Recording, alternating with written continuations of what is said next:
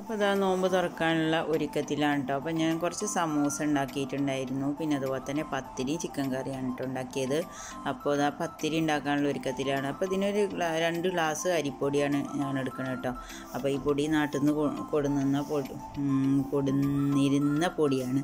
അപ്പോൾ നോമ്പിന് എന്താണ് പത്തിരിയൊക്കെ ഉണ്ടാക്കാറില്ലേ? അപ്പോൾ അതുപോലെ അപ്പോൾ അവിടെ അതിന് കുറച്ച് പൊടി അധികം നാട്ടിൽ നിന്ന് കൊടുത്തയച്ചാണ് കേട്ടോ അപ്പോൾ ഇതാ ഞാൻ പത്തിരി കുറച്ച് പരത്തിയിട്ട് കുറച്ച് പൊടി വാട്ടിയിട്ട് ഞാൻ പരത്തിയിട്ട് ഒരു പത്ത് പന്ത്രണ്ടെണ്ണമൊക്കെ ഞാനിങ്ങനെ ബോൾസ് ആക്കിയിട്ട് പ്രസ് ചെയ്തിട്ട് ആദ്യം പരത്തിയെടുക്കും കേട്ടോ പിന്നെ ബാക്കിയുള്ള മാവ് വീണ്ടും കുഴച്ചിട്ട് പരത്തിയിട്ട് അങ്ങനെ ആക്കുമ്പോഴാണ് പത്തിരി നല്ല സോഫ്റ്റ് ആവുക. മൊത്തത്തിൽ പൊടി കുഴച്ചിട്ട് ഒരുമിച്ച് ബോൾസ് ആക്കിയിട്ട് ഇങ്ങനെ പ്രസ് ചെയ്ത് വെക്കുമ്പോൾ ബാക്കിയുള്ളതൊക്കെ ഇങ്ങനെ ഇരുന്ന് ബലം വെക്കണ മാതിരിയാണ് കേട്ടോ എനിക്ക് തോന്നിയിട്ടുള്ളത്. പിന്നെ ഇങ്ങനെ പകുതി കുറേശ്ശെ കുറേശ്ശെ എടുത്തിട്ട് കുഴച്ചിട്ട് എന്തെങ്ങനെ പ്രസ് ചെയ്തിട്ട് പരത്തുമ്പോൾ പെട്ടെന്ന് കഴിയുന്ന പോലെ തോന്നലുണ്ട്. എന്താ എനിക്ക് അങ്ങനെയാണ് കേട്ടോ എല്ലാവർക്കും എങ്ങനെയാണെന്ന് അറിയില്ല. അപ്പോൾ അങ്ങനെ ചെയ്യണവരുണ്ട് എന്നുണ്ടെങ്കിൽ ഒന്ന് കമന്റ് ചെയ്യാം കേട്ടോ.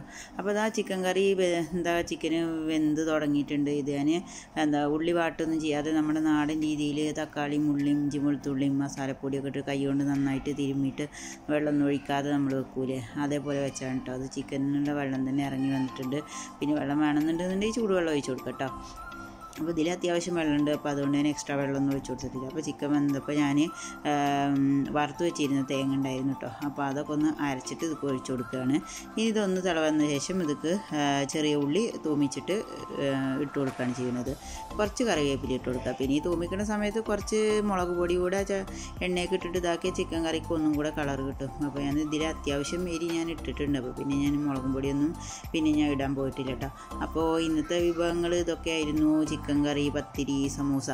അതിന്റെ ഇടയിൽ ഞാൻ സമൂസക്കുള്ള പരിപാടികളൊക്കെ നോക്കിയിട്ടുണ്ടായിരുന്നു കേട്ടോ സമൂസയുടെ ഫില്ലിങ്സൊക്കെ ഒന്ന് റെഡിയാക്കി. പിന്നെ ഈ മല്ലിയിലേക്ക് കുറച്ച് മല്ലിയില എന്ന് പറയുന്നത് ചിക്കൻ കറിക്ക് കുറച്ച് മല്ലിയിലയും ഒക്കെ ഇട്ട് കൊടുത്തിട്ടുണ്ട്. അപ്പോൾ സമൂസയുടെ ഫില്ലിങ്സ് ഇതാ ചിക്കൻ റെഡിയാക്കി എടുത്തിട്ടുണ്ട്. അതിൽ കുറച്ച് ക്യാരറ്റും കിഴങ്ങും ഒക്കെ ആഡ് ചെയ്തിട്ടുണ്ട് കേട്ടോ പിന്നെ എന്താണ് ഇത് നമ്മൾ കറിക്ക് ഇട്ട് കൊടുക്കാൻ വേണ്ടിയിട്ട് വെച്ചതാണ്.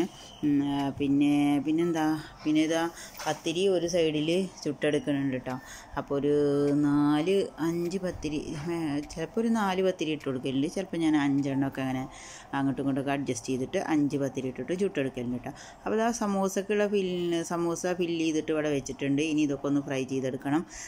അപ്പോഴേക്കും എന്താ ബാക്കിയുള്ള എന്താ മാവ് കൂടെ ഞാൻ കുഴച്ചെടുത്തിട്ടുണ്ട് കേട്ടോ അപ്പോൾ അത് ഞാൻ പറഞ്ഞല്ലോ കുറേശ്ശെ കുറേശ്ശെ ഇങ്ങനെ എന്താ